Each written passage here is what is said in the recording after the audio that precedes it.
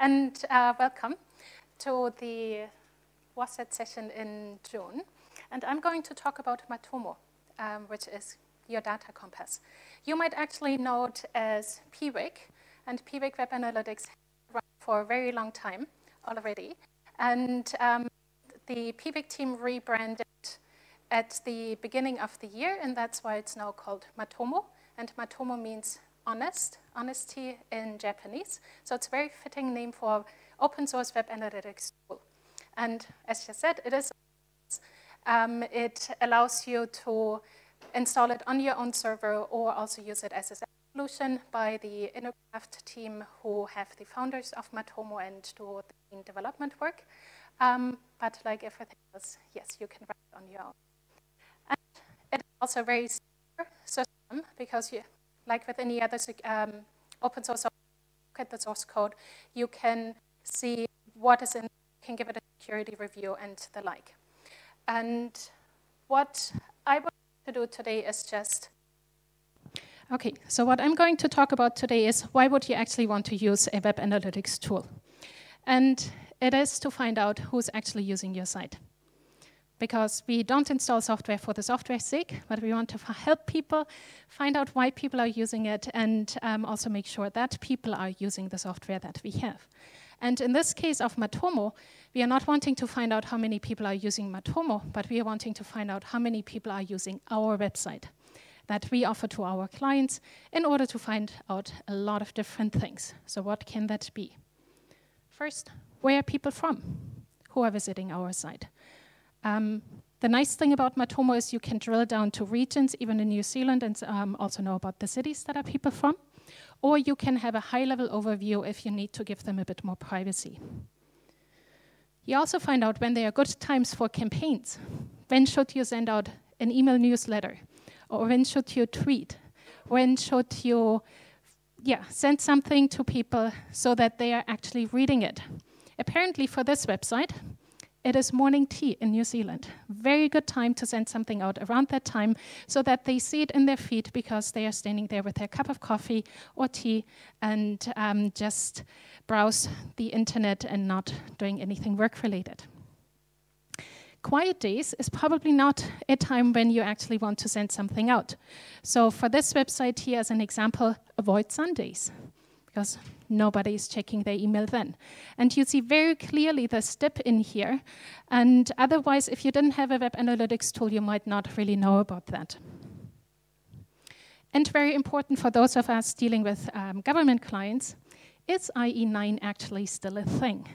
Does it need to be supported? Which other browsers do you want need to support? Which devices do your users have? Do you need to worry about mobile a lot? Do you need to worry about Android version 4 still? Or maybe even Android version 2.3? Or is everybody on 5 point or 6 point anyway? And therefore, you can really find out all these important things to make sure that the website that you're running actually supports the operating system and infrastructure that your users have in order to give them the optimal um, experience and can drop off any support that you might still have for old browsers or very obscure browsers because maybe only 0.01% are using them. And you can also find out where people are coming from and where they are going off to once they've been on your site. So this is an example from mahara.org, from our demo site. And there I just went to the homepage, and I see that people are coming from, of course, internal sites, um, from search engines, but also from specific websites. And so I've got one from sysadmins in Thailand, and then also from a computer science course in Thailand. So I know that they are accessing our demo site. So from the sysadmins now I'm wondering, why would they be accessing a portfolio site? Unfortunately, this page or the site itself doesn't exist anymore, so I can't find that out. But for the ones in the computer science course, I could then contact the um, teacher or the university in order to find out more, well, why are you going to our demo site? Do you have it in your program? Do you maybe want some of your students to program on Mahara, get some work experience there? So there's a heck of a lot of stuff that you can just find out from that. And I also find out where people heading off to once they've been on that particular page. So some go to our wiki, some look at a YouTube video, and then others go also off to the user manual. And we also know are people coming back to the site that we have, which is very important because ideally you retain your users and they are coming back on a regular basis.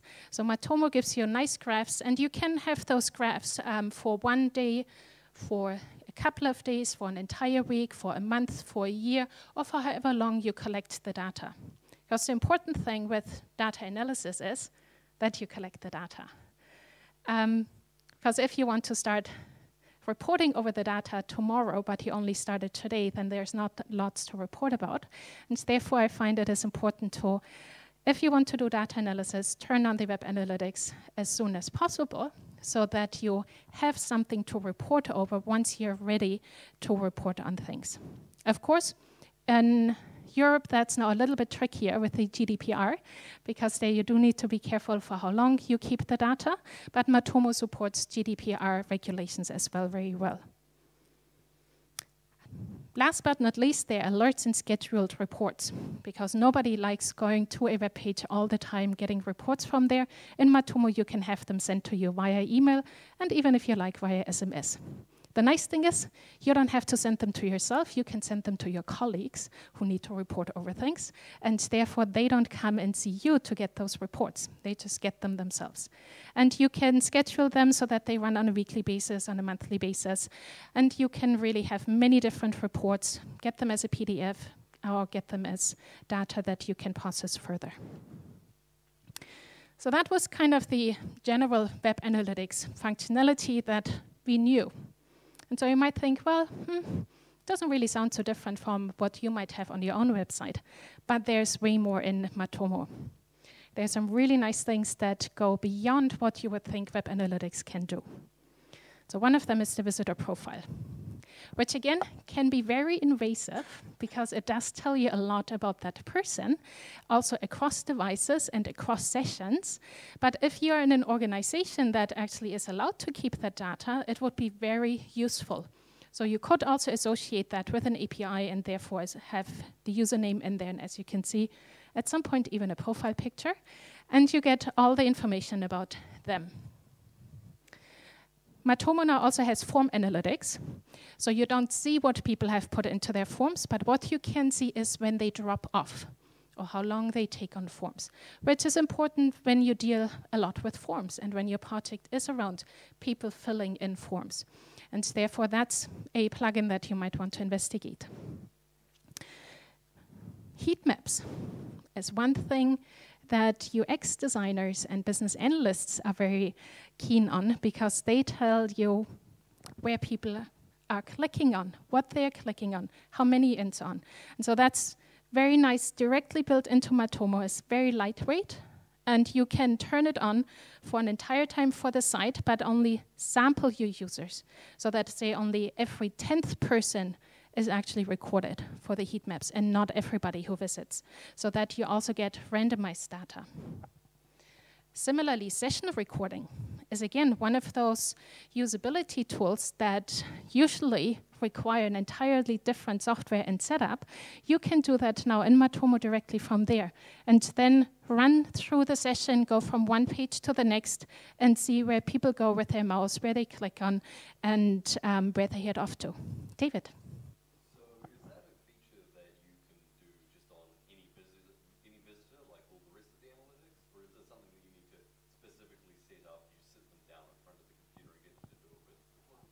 No, you, you do that for the entire site.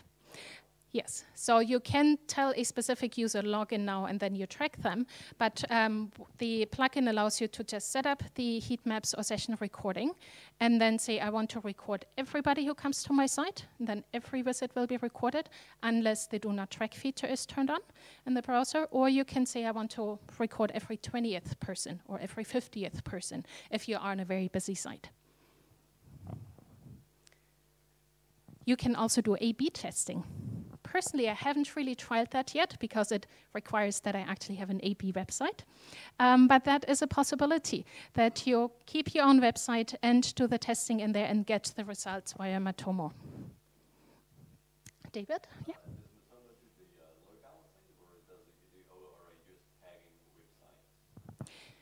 You're tagging the website. So you always put, um, it always goes according to a website that you have. So if you're a URL, you can also have multiple URLs in it and also do roll-up reporting so that you can track individual websites and then they roll up all into one report.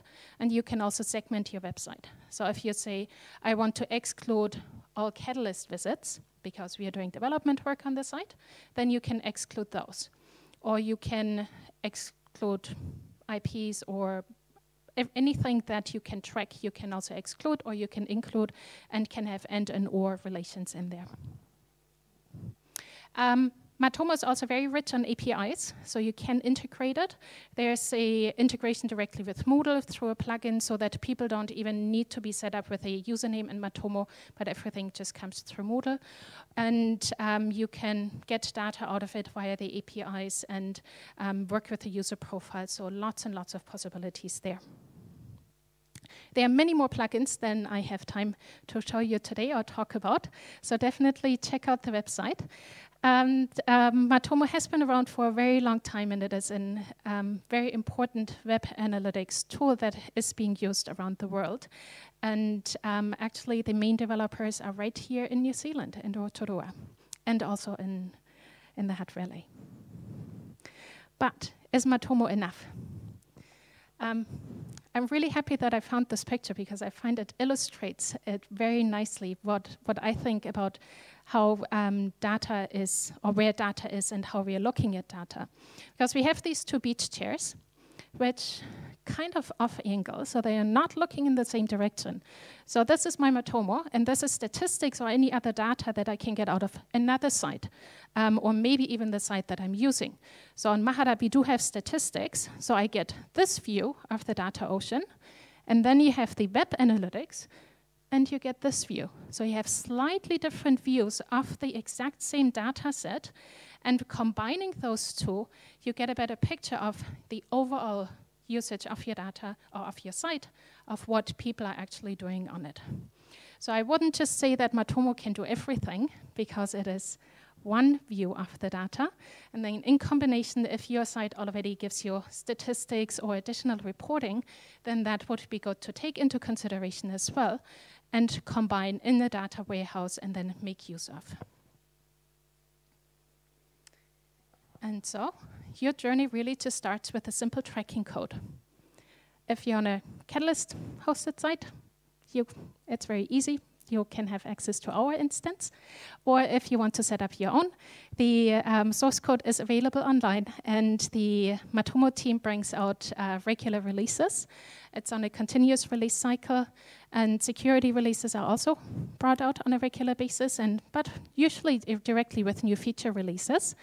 And um, there is also a hosted solution then in Europe available for those that might need to be there and have their data there. Thank you.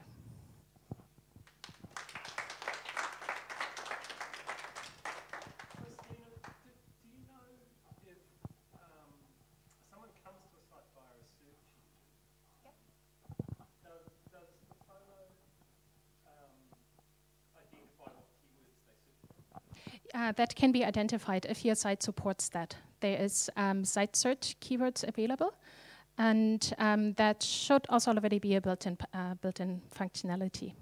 Yeah. So a Drupal, site can be it done.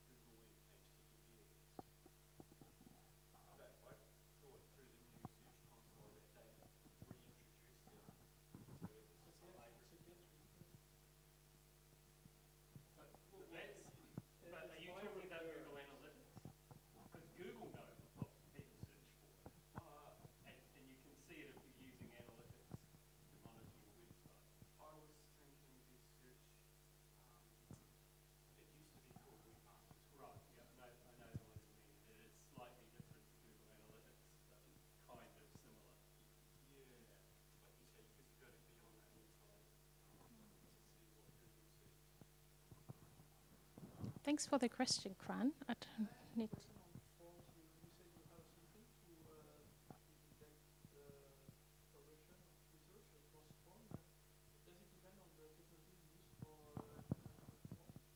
Um, at,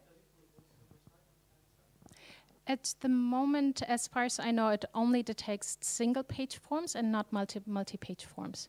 But I think that is one of the features they, the team would like to work on as well.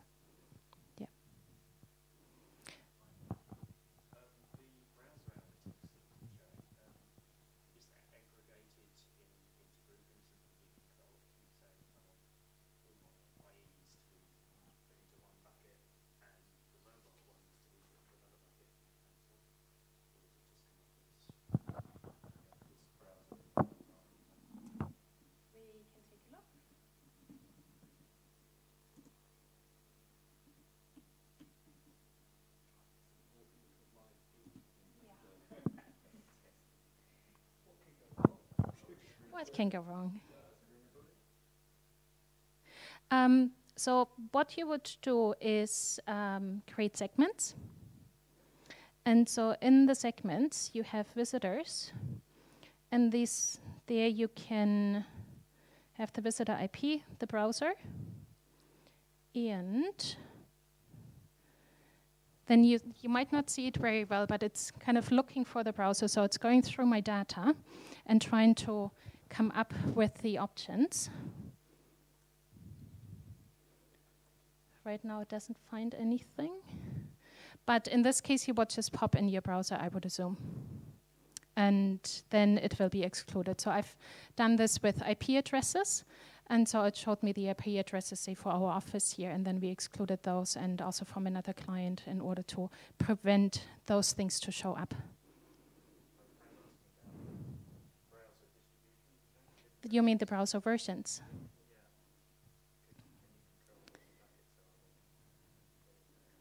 You can also do browser versions.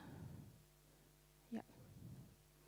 Um, so pretty much anything that you can report on, you can segment into or segment out. And so if you take a look at the list here, you have the visitors, so that's probably where you where most of your segmentation would happen. So you can also take out brands or device types.